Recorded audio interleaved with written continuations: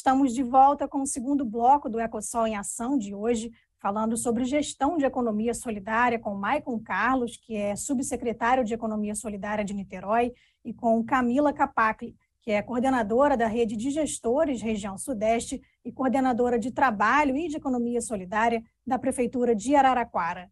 É, Maicon, a gente falava aí, se fala muito bem né, da questão do Banco Araribóia, né? E eu queria que você destacasse outros projetos de Niterói. A gente sabe que Niterói também é muito conhecido pelas suas feiras, né? de economia solidária. Eu queria que você, se você puder, exemplificar para a gente os principais projetos que você acompanha aí em Niterói, por favor. Bom, Flávia, é, como eu disse lá no início, nós expandimos as feiras do Circuito Araribóia. É importante as pessoas compreenderem que as feiras elas não são feiras pontuais, elas fazem parte da política pública de economia solidária.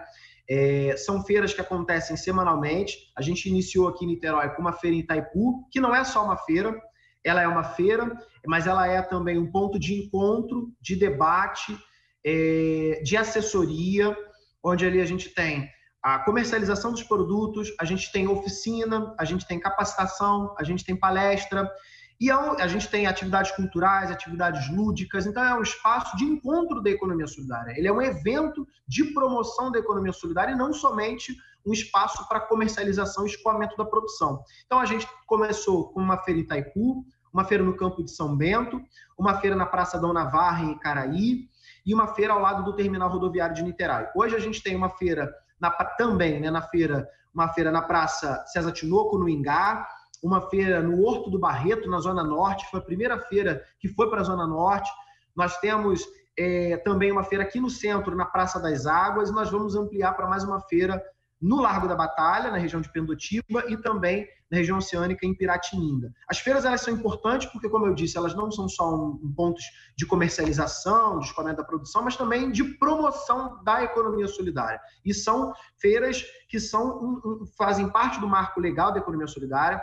Para além disso, nós recentemente visitamos uma loja no centro de Niterói, onde vai ser uma loja de comercialização permanente da economia solidária é, onde a gente vai expor todos os produtos organizados né, de, em grupos produtivos, artesanato, gastronomia, é, vestuário, e eles vão estar expostos numa loja que vai ser autogestionária, organizada pelo movimento social. A prefeitura vai fazer a locação, vai fazer todo o, vai dar todo o suporte, mas ele vai ser um espaço autogestionário, uma experiência é, que eu acredito que vai ser muito positiva para o início desse processo de, de fato, coletivização dos grupos produtivos que nós temos. Nós também estamos organizando um espaço no mercado municipal que vai ser organizado, que vai ser inaugurado aqui em Niterói.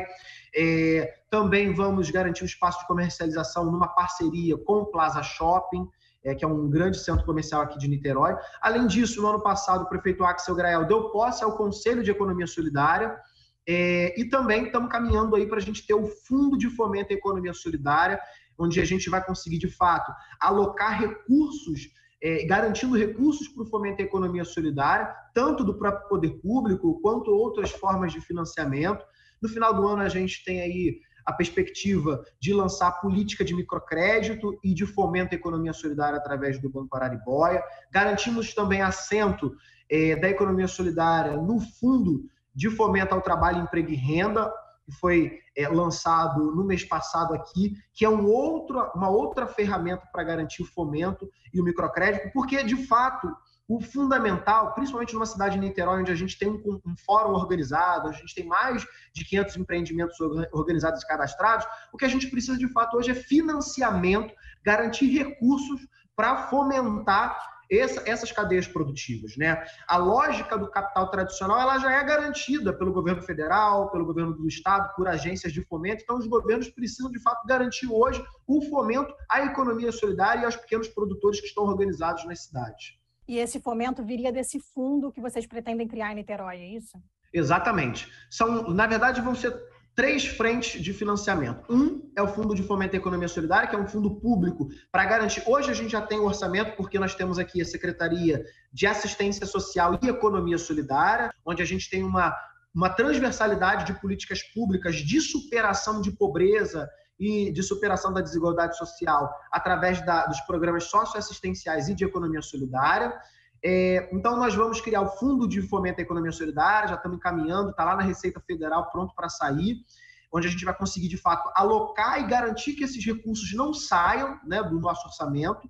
Para além disso, a gente vai ter a política de microcrédito, de finanças, é, de fomento e de apoio à economia solidária através do Banco Araribóia, com o uso das taxas das transações. Por isso que Niterói optou por fazer um programa de transferência de renda é, com investimento de, mais de 11 milhões de reais por mês, mas através de uma política de economia solidária, que é o Banco Araribóia e a moeda social Araribóia. Então, a gente vai ter um outro, uma, outro, uma outra ferramenta de fomento, de fortalecimento da economia solidária, e também através é, do Fundo do Trabalho, Emprego e Renda, que vai garantir microcrédito também para a economia solidária. Nós garantimos lá no plano de trabalho isso. Então, são três frentes, três frentes de financiamento de fomento da economia solidária na cidade de Niterói, é, que nós estamos caminhando para ter no final do ano e principalmente no ano que vem. E de que forma que essas frentes e todos esses projetos, Michael, eles corroboram com as políticas públicas de economia solidária, né, e para redução aí da desigualdade social?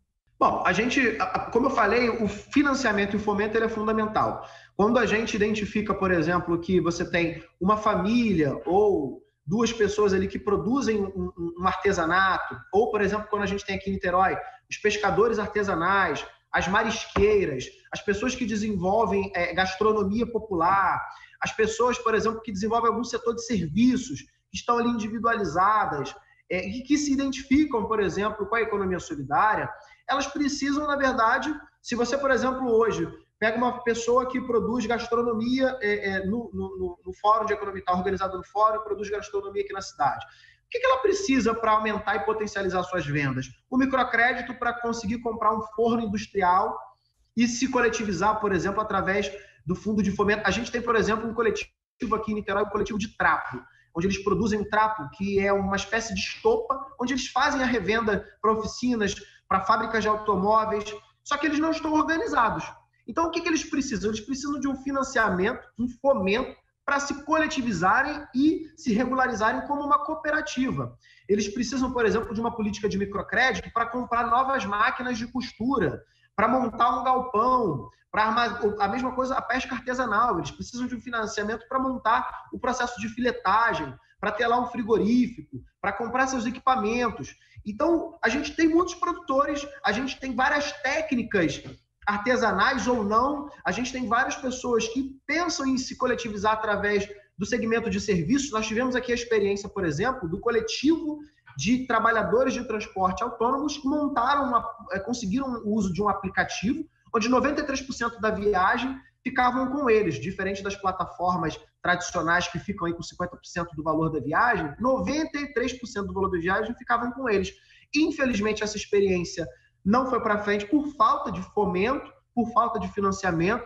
Então, o que a gente pretende com esses fundos, com esses fundos, com essas políticas de financiamento, é conseguir garantir que essas pessoas gerem renda através da economia solidária e não precisem voltar ao mercado de trabalho formal vendendo a sua mão de obra é, dentro de uma lógica precarizada que nós temos hoje depois da reforma trabalhista, é, com a alta taxa de desemprego. Por que, que muitas pessoas hoje estão na informalidade mas não é informalidade através de um, de um trabalho precarizado, não é informalidade através de um trabalho produtivo organizado. Porque está vivendo um momento crítico da lógica neoliberal do capitalismo e hoje Niterói, por exemplo, e diversas outras cidades vão na contramão tentando garantir com que esses trabalhadores consigam produzir, consigam realizar os seus serviços dentro de uma outra lógica produtiva, dentro de uma outra lógica de organização do trabalho. Então, que a gente precisa é garantir mecanismos para que esses trabalhadores consigam fomentar, consigam comprar seus produtos, seus maquinários e fazer as suas vendas e garantir a geração de renda minimamente aí a produção de riqueza, principalmente dentro das comunidades empobrecidas, que é lá onde as pessoas conseguem garantir um processo de solidariedade, conseguem garantir um processo de coletivização e muitas das vezes até de um trabalho autogestionário sem compreender de fato qual é a lógica da economia solidária. Então a gente está atuando principalmente dentro desse segmento na sociedade aqui em Niterói. É, Camila, o Maicon exemplificou bem, já falou bem como é que funciona a economia solidária e a gestão em Niterói, né? E você, além de coordenadora da rede, também atua com gestão de economia solidária em Araraquara, né? Então, eu queria que você falasse para a gente como são desenvolvidas as ações de economia solidária na região em que você atua.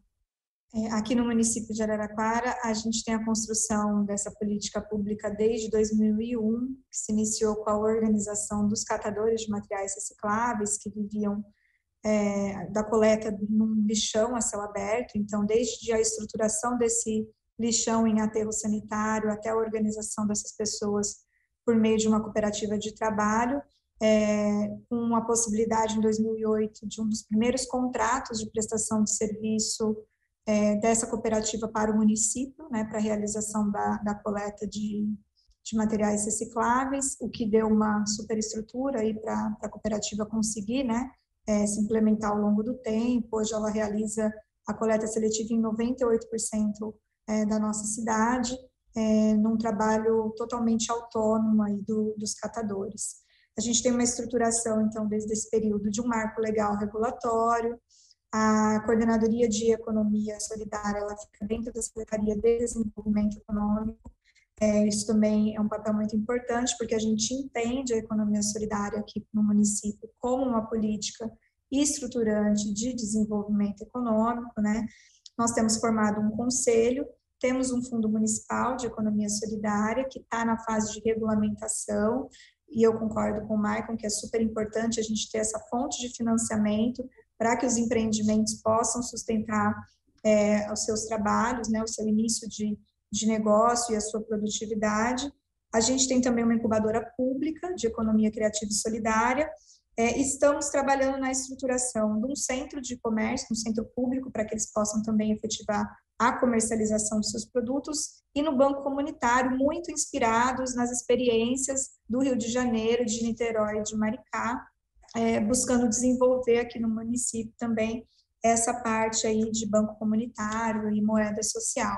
Nós temos hoje 10, é, cooperativas e três associações incubadas pela incubadora e temos avançado bastante em algo que é muito importante, que é a, as compras públicas, que é fazer com que esses empreendimentos econômicos solidários, que são tão estimulados por nós, né, tanto a criação, a formação e a sua sustentabilidade, que eles possam fazer parte das compras públicas. Então, é, nós temos feito diversos diálogos com os setores jurídicos, setor de contratos e licitações, no sentido de como é, permitir, dentro da legislação vigente, mas permitir que essas cooperativas possam participar é, de forma igualitária aí dos processos é, licitatórios, e nós temos conseguido, algumas cooperativas nossas já ganharam alguns processos licitatórios, já prestam alguns serviços super importantes para a prefeitura, é, então é um caminho também que a gente tem colocado bastante esforço, né, nesse sentido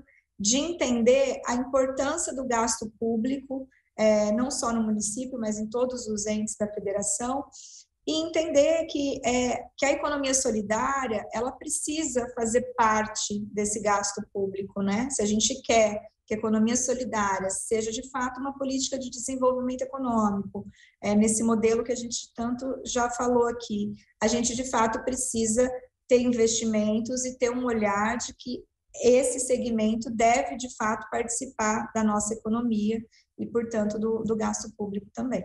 É, Camila, você falou que em Araraquara vocês têm a economia solidária com esse olhar para o desenvolvimento econômico, né? Então, queria que você falasse de que forma esses projetos e essas ações que são desenvolvidas no município, elas colaboram com os trabalhadores e com a economia local. Tá? Nós temos, é, por exemplo, as cooperativas, conforme elas vão se estruturando, elas também vão crescendo, né? Nós temos o caso da cooperativa de catadores de materiais recicláveis, ela tem cerca de 200 cooperados trabalhando diariamente, né? Nesse modelo de democracia participativa. É, isso é bastante relevante para um segmento da população é, que dificilmente consegue uma vaga no mercado de trabalho formal devido, por exemplo, à sua baixa escolaridade ou à dificuldade de, de outras ocupações, aí, de, de, do acúmulo de outras experiências profissionais. É, nós temos uma cooperativa no ramo de multisserviços também, é, que hoje ela está com cerca de 100 cooperados.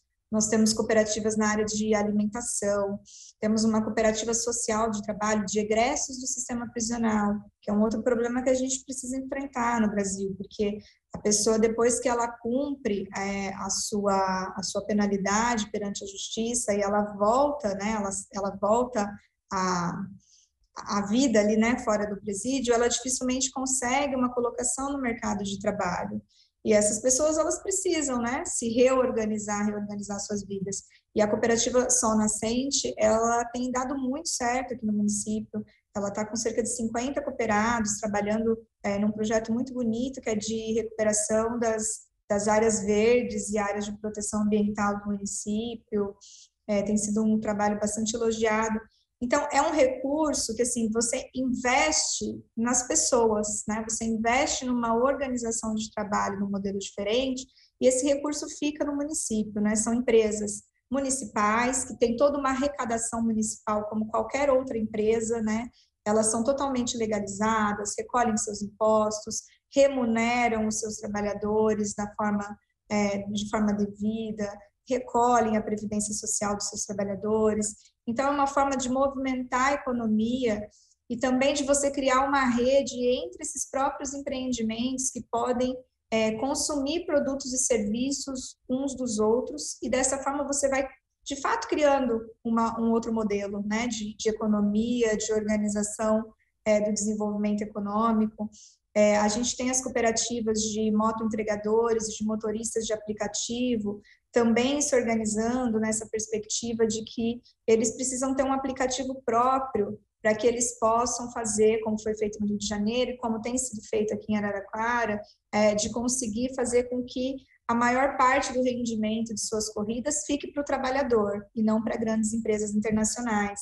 Então, é essa importância do desenvolvimento local sustentável, sabe? Para além do desenvolvimento econômico, é a gente desenvolver o território, é o, o setor público, né? O investimento público é, dentro do seu território, desenvolvendo este território com os saberes locais, com as pessoas que vivem nele, com esse novo modelo né, de, de economia, trazendo a solidariedade, a cooperação.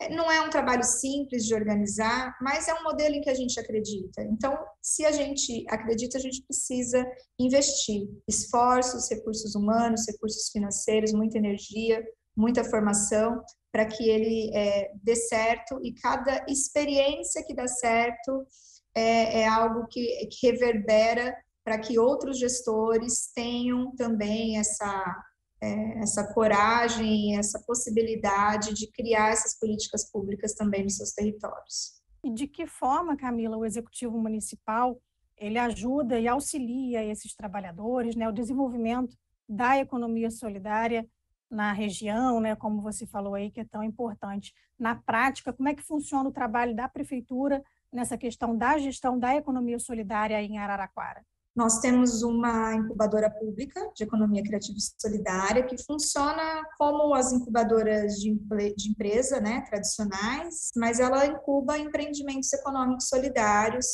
é, ou numa fase de que a gente chama de pré-incubação, quando a gente tem um coletivo é, que está com vontade de se organizar, né, de organizar um empreendimento, ou quando esse coletivo já está organizado na forma de uma associação ou de uma cooperativa, e aí ele entra nessa fase de incubação.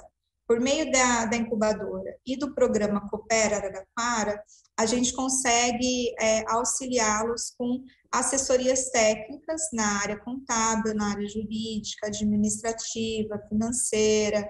Então, a gente auxilia desde é, como fazer orçamentos, como participar de processos licitatórios, como verificar se aquele contrato é vantajoso ou não, como oferecer um serviço, como fazer sua rede social, uh, como organizar os seus trabalhadores. A gente agora está começando uma refazendo uma etapa que todo ano a gente precisa fazer, que é a formação em cooperativismo para todos os membros que estão em todas as cooperativas que são incubadas por nós. Então, isso é algo que precisa, porque nós somos criados numa outra lógica, né? Todos nós. Então, para que a gente mude essa lógica, a gente precisa de um constante processo de formação sobre o que é esse modelo de economia solidária, como se organizar no cooperativismo. Isso precisa ser é, continuamente reforçado. É, e nós temos a regulamentação agora que a gente está tá correndo atrás do fundo municipal, que é essa ideia, já, isso já está regulamentado por lei, a gente só precisa regulamentar é, o fundo para ver como faz essa forma de acesso para que essas, esses empreendimentos econômicos solidários em início de negócio consigam ter um subsídio para uma compra de equipamento, é, para um, um capital de giro inicial, né, com capital de investimento, que muitas vezes esses trabalhadores eles não têm, eles começam esse empreendimento com capital de investimento muito baixo, porque é, é a forma como se organiza, né, esses empreendimentos nesse primeiro momento. É, a gente também tem um programa de feiras municipais aí para empreendimentos mais ligados ao artesanato, à economia criativa, à área de de alimentação artesanal. É um programa também que está tá se estruturando, está crescendo cada vez mais, né? A, as feiras aqui no município, a gente todo final de semana tem pelo menos uma feira acontecendo em praças públicas, o que traz uma revitalização é, também das praças. É, fora isso, a gente tem o, o, conselho né, instituído, que a gente também é, é um instrumento importante de participação dos empreendimentos, e e essa questão das compras públicas também a gente tem focado bastante em entender e auxiliar as cooperativas a participarem desses processos para que eles consigam é, contratos, né, que sejam contratos mais a médio e longo prazo, onde eles possam financeiramente se estruturar e crescer, trazer cada vez mais cooperados para esse processo. A gente tem um banco de dados aqui em Araraquara, onde as pessoas que procuram os nossos CRAS, né, os Centros de Referência de Assistência Social, eles podem, caso tenham interesse, é, se cadastrar nesse banco de dados para futuramente receber capacitação, é, qualificação né, em economia solidária e cooperativismo, para talvez num, num futuro é, se cooperativar em algum empreendimento. É, o nosso programa está chegando ao fim. Camila, eu queria agradecer já de antemão né, a participação de vocês. E você gostaria de fazer alguma consideração final? Gostaria de dizer que a rede de gestores é, de políticas públicas de economia solidária, então é essa articulação nacional, que ela está de braços abertos para receber todos os gestores que quiserem fazer parte dela. Ela é uma rede apartidária, é um processo muito rico. Eu participo da rede desde 2003, desde que eu comecei a minha carreira na área da gestão pública. Ela é muito importante, ela foi e continua sendo muito importante para que a gente possa, no dia a dia, fazer a execução é, do nosso trabalho, né, execução enquanto gestor público. Então, quem tiver interesse, nos procure, entre pelo site, se cadastre, procure nosso WhatsApp, entre em contato que as portas estão abertas para acolher é, todas as questões e todos os gestores que, que quiserem participar dessa grande rede. Muito obrigada. Maicon, você gostaria de fazer alguma consideração final também? Queria agradecer o convite, Flávia, é, TV Alerj, parabenizar a TV Alerj, parabenizar também a Camila e agradecer, porque a Camila é uma companheiraça nossa lá da rede de gestores, é, nós temos reuniões constantemente. Não é fácil você reunir uma parte do Brasil, né? Um país tão grande, mas nós temos ali gestores comprometidos com a economia solidária, com o fortalecimento da economia solidária. É muito bom contar com o apoio da Camila de toda a rede de gestores. Dizer que Niterói está à disposição de outras cidades e de pessoas que queiram conhecer a experiência da economia solidária que nós temos aqui. É, a Camila falou de experiências, por exemplo, em Araraquara, que são desafios nossos aqui como, por exemplo, a questão dos catadores de resíduos sólidos. É um sonho que a Araraquara faz e a gente está, aos poucos, tentando implementar aqui. Então, essa é, essa é a essência, por exemplo, da rede de gestores, a gente conseguir ter esse intercâmbio e executar políticas públicas é, similares de fortalecimento da economia solidária. Então, eu queria agradecer o convite novamente e dizer que estamos à disposição. Viva a economia solidária! Muito obrigada. Infelizmente, o nosso programa chegou ao fim. Mais uma vez, eu agradeço a participação de vocês. E se você quiser rever este programa ou acompanhar a programação da TV Alerj, é só acessar o nosso canal no YouTube e nos seguir nas redes sociais. TV Alerj, o canal do povo. Até a próxima!